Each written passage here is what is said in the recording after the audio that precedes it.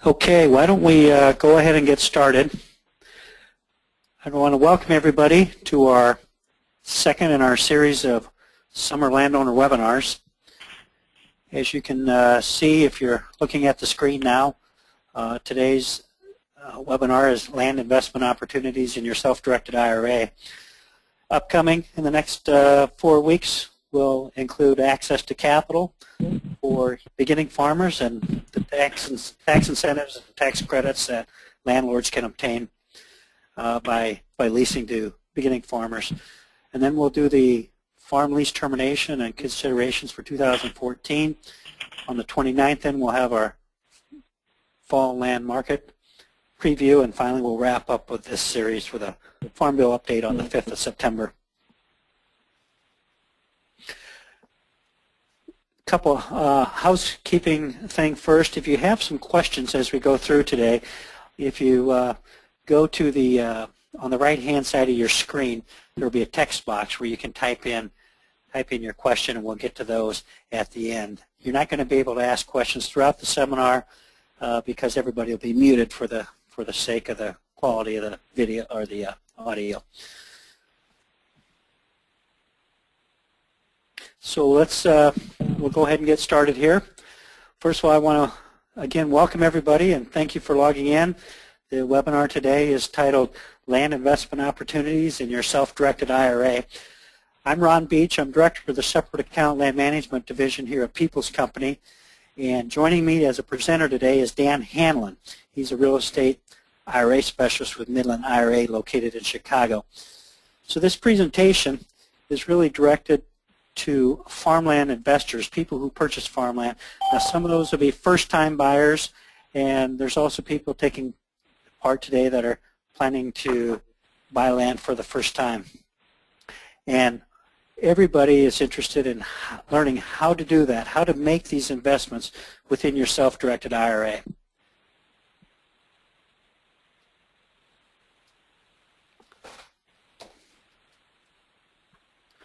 Okay, um, that's, there we go.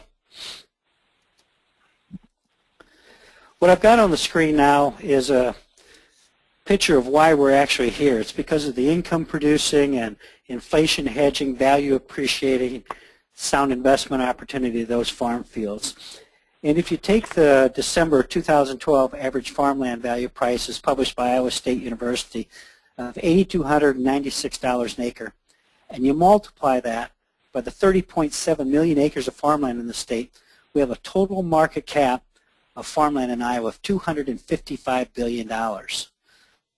Of that, 26% is owned by people 65 to 74 years old, and another 30% is owned by people 75 years and older.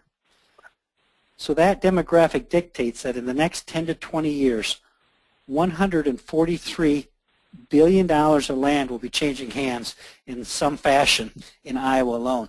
And this statistic is very consistent throughout all the farming states in the Midwest.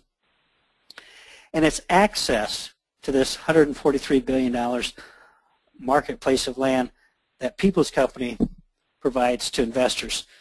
Now during last week's seminar, I covered information about the current historical land market, how farmlands performed as an investment class and a diversification vehicle, and, and then finally specifically covered how the separate account land management program was designed to assist investors with number one, overcoming the hurdles of how to source land deals, especially off-market deals. Number two, how to assist in managing the asset for optimal income and value appreciation. And then number three, how it benefited farmers by providing an investor source of capital to buy tracts of land that then they, they could then lease. So that webinar from last week's available through the People's Company website, or you can contact me if you'd like to learn more about the separate account land management topic. But while People's Company, we can assist through the separate account program with acquiring and managing land. In order to utilize your self-directed IRA, you need a knowledgeable IRA custodian. It's got to be someone that can set up and manage the IRA portion of the account in order to keep your account in compliance with all the regulations. That specialist we found is Dan Hanlon of Midland IRA. I met Dan at the World Money Show in Chicago last year. And then in this past January, he attended our Land Expo. And since then, we've developed a growing relationship.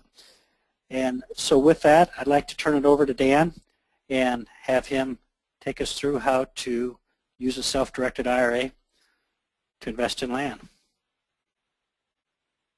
Excellent. Uh, Ron, can you hear me all right? Yes, I can. Okay. Um, am I? Do you want? Uh, am I getting access to the slides, or do you want me to? Um, or do you want to scroll through them for me? I I can scroll through. I thought. That's okay. That's okay. Yep. Okay. All right. All Go right. ahead. So as Ron said, uh, I'm uh, Dan Hanlon with uh, Midland IRA, and I'm going to talk a little bit about um, how you can go ahead and, and, and use your IRA um, in ways that you may have never thought possible. Um, you, people, most people are surprised to find out that you've always been able to buy farmland and, um, and other types of investments inside of your IRA. And I'm going to talk about that and the rules and, and give some examples going forward. So, uh, Ron, I'm going to get started with my disclaimer on the next slide there. Um, so I'm gonna I'm gonna make um, make note about what it is that Midland IRA is, what we do, um, but I want to first make clear of, of um, some areas which we uh, which which we don't do. Um, so first and foremost, uh, I, Midland IRA is not a fiduciary, uh, nor are we uh, do we give investment uh, legal or tax advice. So uh, clients bring their investments to us that they've found um, elsewhere, they've done their own due diligence on, they feel comfortable in investing, and we offer them the vehicle of which to get that done. So um, uh, Ron, you can go on to my next slide. I'm going to talk a little bit about uh, our, our office. We're, we're located in downtown Chicago.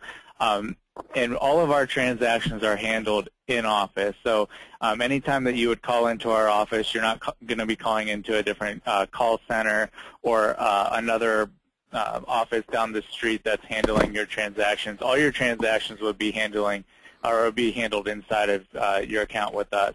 We've been doing self-directed IRAs since 2004.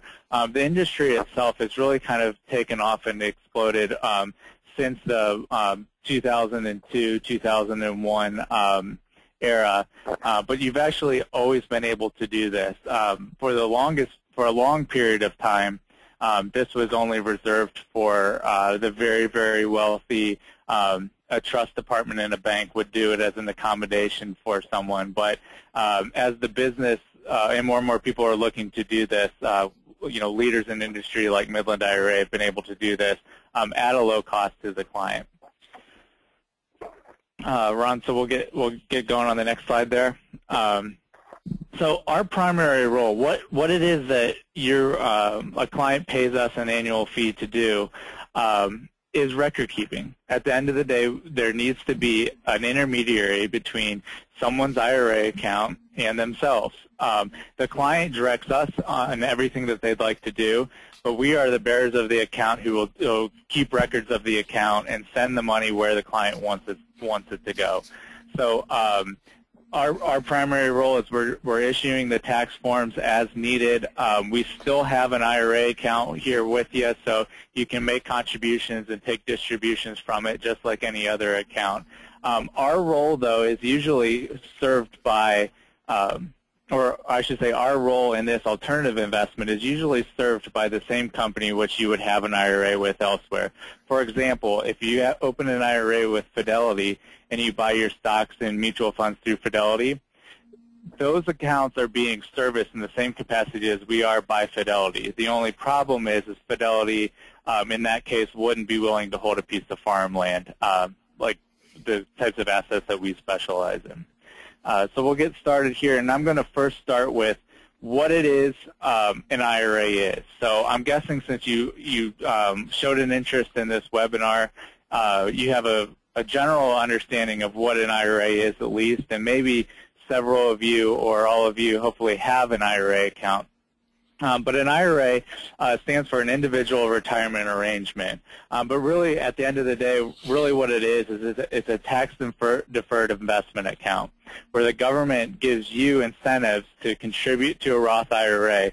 and in turn, they allow you the ability to invest it in any way that you choose um, without having to pay tax on those earnings on a uh, on an annual basis or on a um, on a consistent basis. The only time that you will pay taxes is when you take a distribution from the IRA account. Um, so we'll talk about that a little bit later. Um, so most IRAs are funded by old 401ks. So um, an IRA, what you can put into an IRA isn't all that much. It's either 5,500 or $6,500 a year, depending on your age. But where most people get a lot of their wealth is with an uh, with an old 401k or maybe an old pension plan or a 403b of, of sorts, and they can roll that into an IRA. Um, just a general, just a general uh, um, statistic here, um, over 40% of American households have an IRA, and that most IRAs are funded by old 401ks. And uh, right now, there's a little over $5 trillion just in IRAs. So that's not including uh, 401ks. That's just in IRAs. So there's a lot of money in in IRAs, and and 98% of those uh, those accounts are invested into uh, stocks. Okay, so um, the, the types of investments that we'll talk about today are only for uh, you know the 2% of all IRA um, accounts. And you'll see there at the very bottom in orange, I listed out Midland IRA Incorporated, FBO, client's name and account number. And I put that on there um, at the beginning because all IRA assets are always titled to the IRA.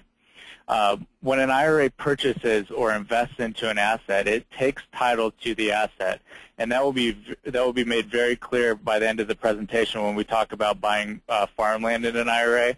But that titling um, is always consistent, whether you're buying a stock or a mutual fund or, or a piece of real estate, or maybe you're lending money out of your IRA. That is going to be consistent throughout.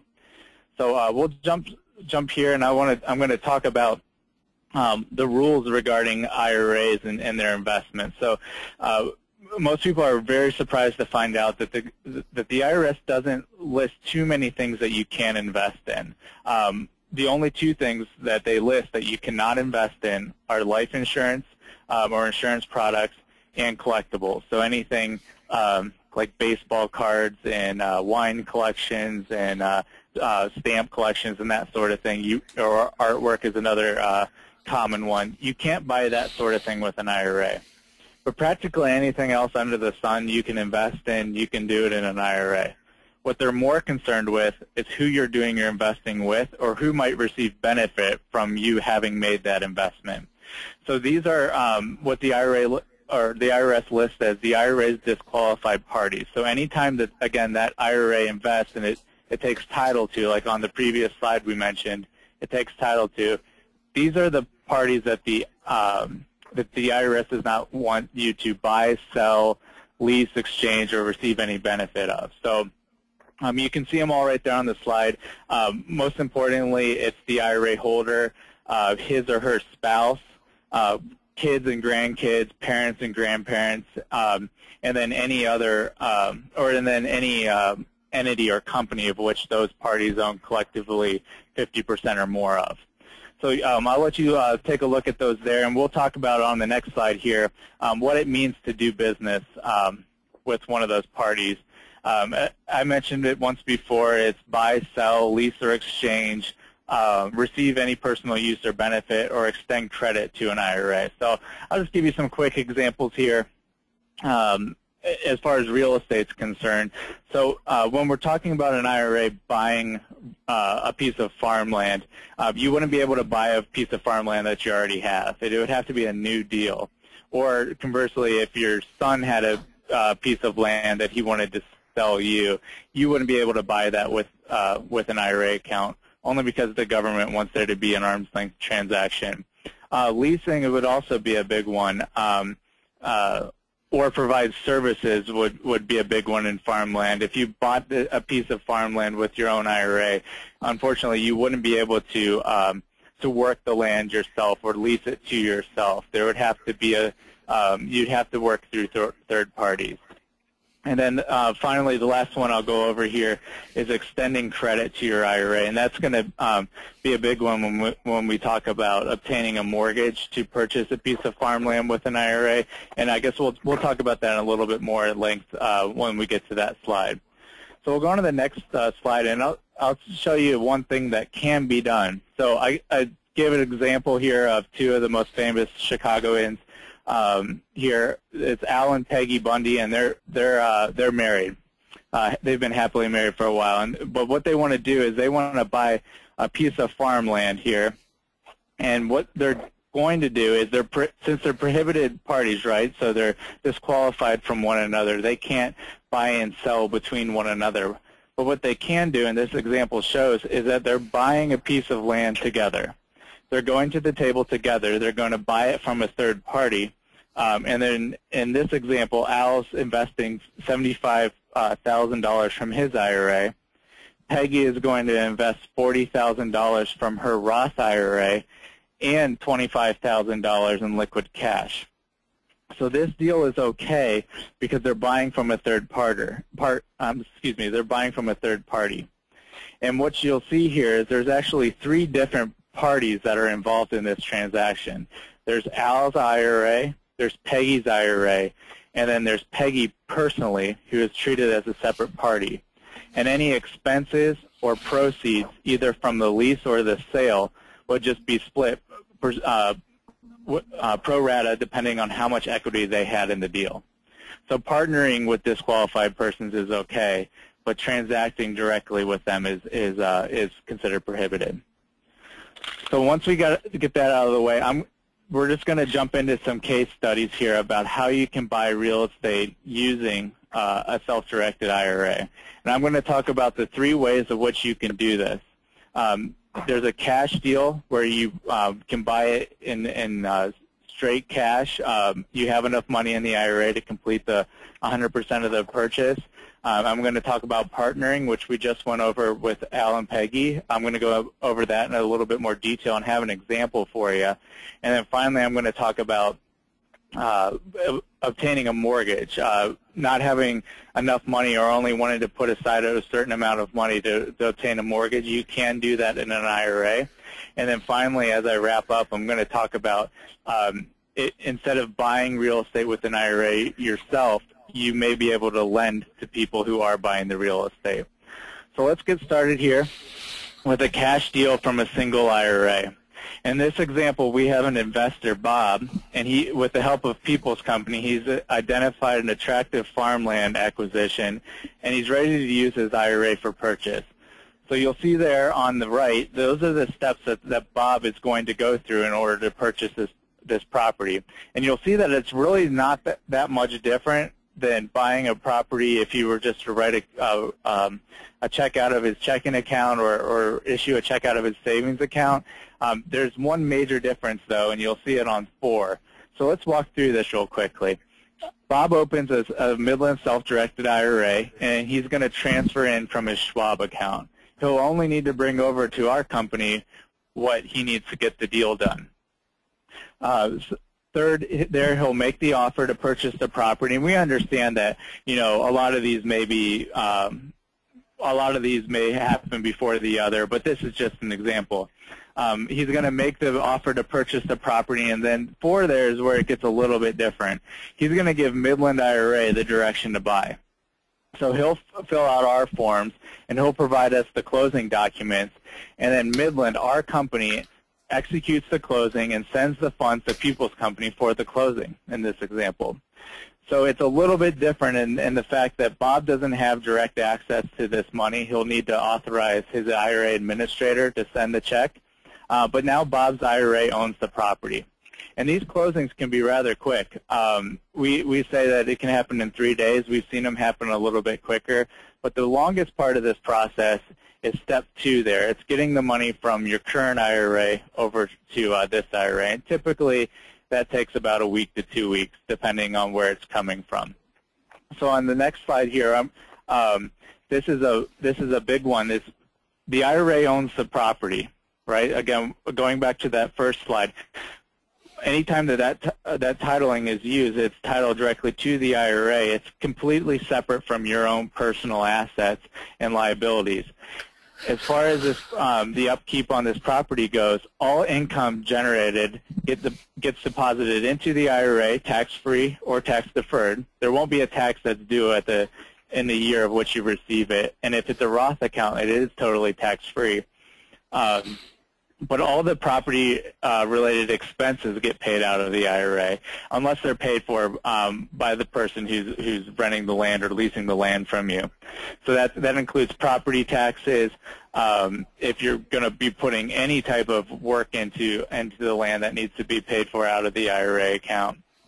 And um, and then also, you know, thirdly, there um, the income and expenses can be uh, can be serviced by a, a, a property manager and they would just send the net proceeds back to the IRA account um, as your return on investment. So those cash deals are pretty cut and dry. Um, they're pretty easy. The, really, what it comes down to is it's not much different than writing a check out of your checking account, except you're doing it through a company like uh, like ours. Um, and then any proceeds from that that investment are 100 100% going to go back to the IRA, and the same thing is true for any expenses. Um, so we see that uh, it's probably our most common transaction here.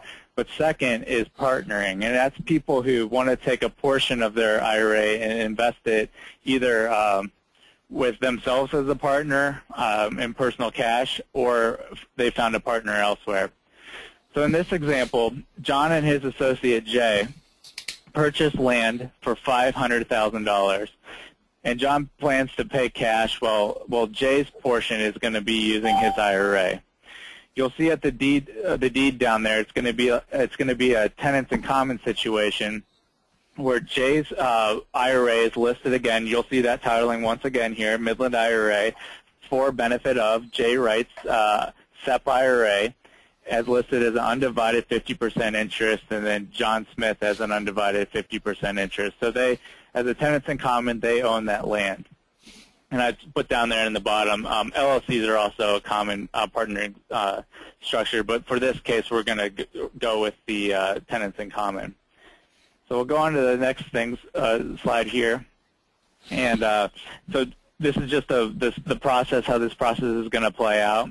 So John retains People's Company for the property management. So People's Company is just going to take care of all the property management aspects uh, for them. Uh, rents and expenses are handled by People's Company, and the land has an annual positive cash flow of $25,000. So that split, because they own that property 50-50, uh, 12500 uh, for Jay's SEP IRA, and then $12,500 is going to be sent to John annually as his return on investment. Um, Jay's property, Jay's since it was done in, inside of his uh, SEP IRA, he will not that will not be taxable to him. Well, uh, John's portion would be. Um, and then uh, People's Company sends Jay's share to uh, to our company to deposit into his account. Um, it's just like a stock that's paying a dividend. In that case, it gets deposited in there.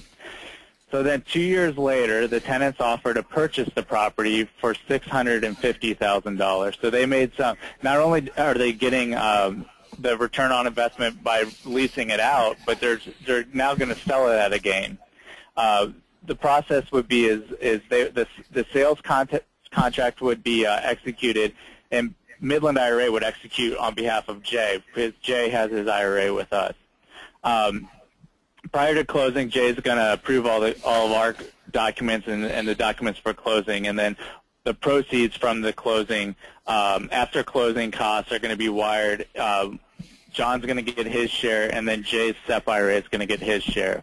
So on the next uh, slide, we'll we'll look at what what the numbers would look like in this particular uh, scenario. So they initially invested uh, $250,000. They had the cash flow over the the lifespan there. Gains from the sale, um, they made uh, $75,000 each on that. And then the balance of, of uh, Jay's SEP IRA afterwards is $350,000, and there's no taxes that are due on that. So if you wanted to turn around in the, in the next day and either transfer all that money back to his uh, uh, TD Ameritrade account to buy an, a mutual fund, or he could buy another property through People's Company um, and do it all over again. So um, that's that's just a just a general example. I use the 50-50 uh, split there just to make things easy, but we've seen all all types of uh, of uh, percentages there, and there's not there's not a requirement on on uh, the percentage. So we've seen 60, 40, 75, 25, whatever whatever equity you have in, that's how you determine that that uh, um, that share there. So so that's a that's partnering in an IRA. Um, what the biggest question that we get is the next slide here, though, is what if I need a bank loan? What if I need a mortgage in this IRA? Can I do that? Um, you can. So I, when you when you do this, the IRA is not used as a down payment. What the bank looks for is you have to have equity into the deal, and typically that is 40 to 60 percent down. Um, I understand that People's Company has some local banks that they work with that issue these uh, non-recourse loans, but at the end of the day, really what it what it comes down to is the ability for that property to cash flow, and that the IRA holder or his or her spouse cannot sign a personal guarantee for the mortgage. So that goes back to the um, one of the prohibited transactions that I mentioned that we talk about more in detail later, and that's um, you cannot extend credit to your IRA. You can't pledge your own personal assets for the benefit of uh, of your IRA. And then at the very bottom, uh, UBI, uh, UBIT and UDFI uh, may apply if profits exceed $1,000. So those are two taxes that may apply uh, based off the earnings of the outside funds. So the funds that were not inside your IRA um, uh, and the return on the dollars on those may, may be taxable to you. Um, and I and I think People's Company would have a good uh, good source for you too if you had questions. A good bank that that you could at least talk to, because um, each bank is different as far as what they require for those types of loans. Um, so then finally here, so we talked about the three ways that you can buy real estate with an IRA. You can buy it with cash, you can partner um, with other partners, um, or you can uh, obtain a bank loan. But in this example, this is a uh, you can lend money out of your IRA. So not everyone is ready to buy land uh, with with their own IRA, but what they can do is they can lend it to non-disqualified parties and be the be the bank. Uh, be the bank, so to speak. Um, so this is a way to participate in an investment without committing long term. Um, it, it's a way of avoiding that UBIT tax that I just mentioned on the previous slide. And again, these are all just just general um, examples of general numbers. We've seen uh, mortgages that have higher or lower interest rates, but typically they're 8 to 15 percent interest, and they're shorter in term, so six months to three years. But again, those are just general numbers. They can be really whatever you want. Um, but how it works is the IRA is going to be the lender, so the lender listed on the, the note or the mortgage would be, again, that titling, Midland IRA, FBO, and then the client's name and number. And then the, the borrower would be paying back the IRA, either a percentage of, uh, of um, an annual percentage, a, a monthly payment, um, a balloon payment. It, it's really up to, to you and the borrower or the IRA holder and the borrower to, to the terms there. So we'll jump to the next slide here, and this is just some types of uh, types of uh, notes that you can do. Mortgages are most common. Uh, we see secured notes, so maybe you um, you're not able to get first position on the on the um, on the property that you're lending on. Um, so maybe you take machinery or tools as as collateral. Um, we've seen all sorts of things. We've seen gun collections. We've seen tractors um, all sorts of things for, for uh, security. We have seen a lot of unsecured notes as well. So really, you know, what that just comes down to is how well do you trust the borrower. Um, participation notes and convertible notes, it's a way of um, investing into the overall equity and performance of a of an investment um, as being a lender or an issuer of debt rather than being a participant in the uh, in the deal as an equity partner. Um, and then we'll jump onto the other slide here. And this is the, the next slide. It really just is, reiterates the, the first slide that we showed here. Um, these are just examples and, and just general uh, general types of things that we see, uh, lar larger down payment, shorter in terms, higher interest rates, and then typically if someone's going to be lending money out of their IRA, um, and us as a company, we charge about three to four hundred dollars a year to, to service this IRA account. Usually, the the the lender gets the borrower to pay uh, our our our fees and the costs associated with uh, um, with this type of mortgage. So, um, so that's lending out of an IRA. Um, the next slide here is is one of which is a really hot topic um, when we're talking about illiquid assets. So uh, we consider liquid assets like stocks and mutual funds where if you need cash tomorrow, what you can do is you just log onto your account and sell it. Um, but what about a piece of real estate that may may not sell as easy as a stock or a mutual fund? Um, and and it comes time to take uh, distributions from the account because when people in a in a tax deferred or a traditional type of IRA uh, reach the age of 70 and a half, they have to start drawing on it. So distributions, uh, when an IRA holder reaches 59 and a half, uh, they can take they're able to take distributions from their IRA without paying a 10% penalty. So you reach the maturity uh, phase of this IRA account and you're able to take money from it. Um, except for Roth IRAs, all distributions are taxed at ordinary income. So if you've made any gains inside your IRA account, you're not subject to the capital gains, but you will pay income tax on a dollar-for-dollar basis of the amount of money that you take out of the IRA account. Uh, distributions can be made, this is a big one, especially in, in real estate, so distributions can be made either as cash or as an a, uh, assets. So I would say 99% of the time people take cash out of their IRA as their form of a distribution. But you can take real estate if you wanted to. So if you had a piece of land that either A, you wanted to use one day yourself, maybe uh, I guess this really wouldn't be the case with farmland, but maybe you found a property that you wanted to uh, live on and retire someday, you could take that as a distribution. Um, or maybe you had a, a property that was really generating a, a really are producing really well for you. You didn't want to part with it, so you didn't want to sell it, so you could take a distribution. But what you could do is take it out as a distribution either in full, like a, pay 100% of the taxes on the value at that date, or you could take it out over a period of time and pay taxes um, like 10% for the next 10, 10 years, you could do it that way. And when you do that, when you pay taxes on it, you are taking it as a distribution, and the land gets retitled into your name. So not your IRA, so that titling again, uh, Midland IRA, FBO, is not 100% owner. Um, you may be listed on the deed or maybe uh, uh, retitled over to your name if you paid taxes on it. And then all of a sudden the proceeds would be split uh, depending on how much you own personally.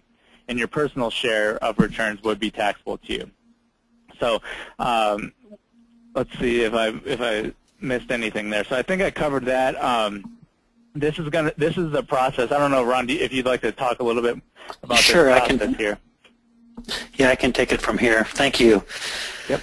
Thank you, Dan. Um, what you're looking at now is a, uh, a process map, if you will, where we've combined the the uh, the process Midland IRA has for managing these type accounts with the separate account program we have at People's Company. You can see it's just a step-by-step -step where you establish your your account with the, with uh, Midland, who acts as a custodian, and then with People's Company, we identify what type of property you're looking for. We get our management agreement and engagement agreement signed. Then we go out, we source properties, we present the analysis to you as a client. You'll review that. You'll make the decision if you want to pursue it or not. Uh, then we get, you know, once you say yes, it's a go, we negotiate that final purchase. As, uh, as Dan said, Midland actually signs the purchase agreement, and then at Peoples we facilitate the closing, do the closing documents that you've signed off on, and then uh, Midland, uh, on your behalf, actually sends the money from your IRA. Then we uh, get the farm leased out, we manage the farm, and make the make the net income payments to the IRA.